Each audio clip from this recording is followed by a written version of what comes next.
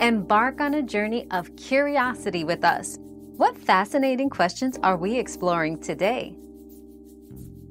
Screen mirroring lag occurs due to a slow network, distance between devices, or processing power limitations. To fix screen mirroring lag, ensure both devices are on the same fast, stable Wi-Fi network. Minimize the distance between your devices and the router for a stronger connection. If possible, Connect through a 5 GHz band instead of 2.4 GHz for less interference. Additionally, closing unnecessary apps on both devices can free up processing resources, potentially reducing lag. Upgrading your router or investing in a more powerful device may also be solutions for persistent issues. Another mystery solved, but many more await. Keep up with our daily discoveries by subscribing and turning on notifications.